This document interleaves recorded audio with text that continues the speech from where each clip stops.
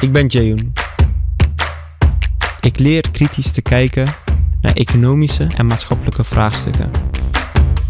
Bij Tilburg University kan het. Hier voel ik me thuis.